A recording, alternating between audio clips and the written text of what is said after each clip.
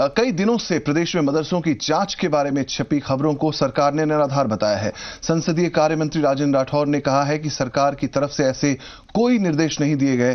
राठौर ने साफ़ किया कि राज्य में सभी धार्मिक स्थलों और शैक्षणिक संस्थानों के बारे में सूचनाएँ लेना सामान्य प्रक्रिया है। संसदीय कार्य मंत्री ने कांग्रेस पर भी पलटकार करते हुए इस किस्म की राजनीति करने से पहले अपने गिरेवा में झाँक कर देखने की बात कही।